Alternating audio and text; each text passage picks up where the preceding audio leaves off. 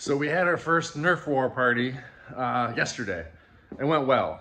It took 38 minutes to set up, which is a little long. It was our first time. Um, basically, we got to get a smaller hose so it fits in there so we don't have to hold the hose from the shop vac to fill it up. Uh, and we got to get everything on carts. Um, but it was pretty good for the first time. It took about 20 minutes to take down. And we made 300 bucks. And the kids had a lot of fun and the parents had fun. I mean, within an hour, he left a review on our Facebook page saying five star excellent service. It was cool. So here it is.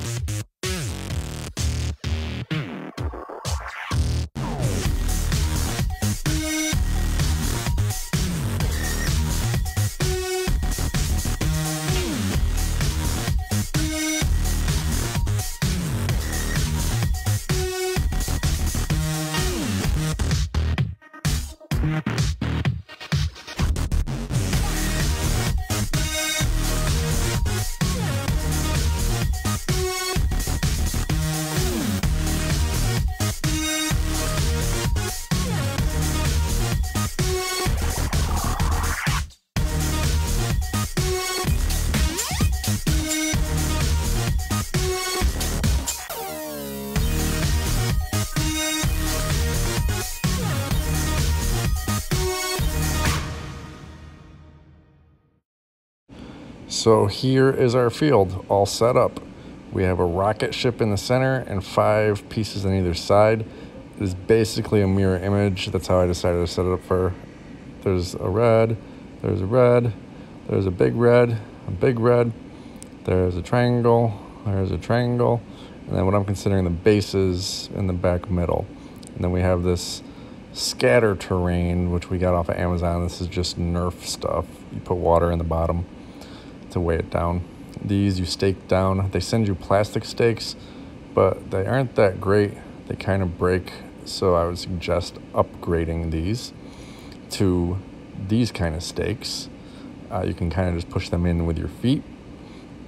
Then over here, we supply a table to put everything out on. We got the masks, the darts, and the guns. Now, this is a party for 10 people, but we give 12 of everything just in case something breaks. The guns came with these darts, so we're leaving these as well. And then we have 250 darts in that bucket. This kid is super excited. So this is how we are storing everything now in these bins, shop vac, all the guns and uh, goggles, extra darts, and then all the bunkers are in these bins. We can actually get those bunkers a little smaller. Uh, JD, who was sucking the air out of them, didn't suck the air out all the way. Basically, when you suck it, when it gets almost empty, uh, the backside sucks up and it seems like you're not getting any more air out, but you gotta like kind of get your fingers down and pinch it so that the, the back of the vinyl doesn't suck up into the hole. And then you can suck it up real good and then uh, get it real flat and then roll them real flat. So we'll be able to get that gray bin I think everything into that gray bin uh, the next time. And basically, JD is running this show.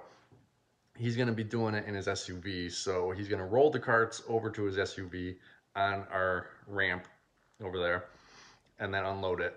Um, if the box truck is ever available when he does it, uh, he can just load everything in the box truck and wheel everything in the backyard.